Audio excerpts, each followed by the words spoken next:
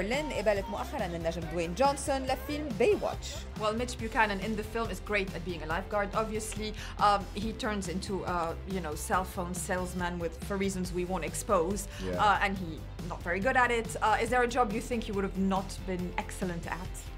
Not been excellent. yes, at? if if you were not doing what you do.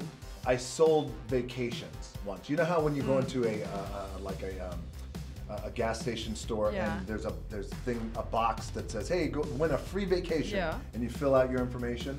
I was the guy who would collect those and then call and then tell you, "Hey, you want a free vacation?" and tell you this whole thing, and then uh, at the end of, so I just need your credit card number.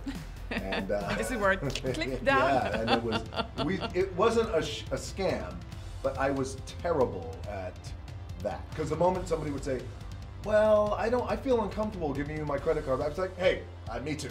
I get it. I get it. Totally get it. Take care. Goodbye." I was terrible at that.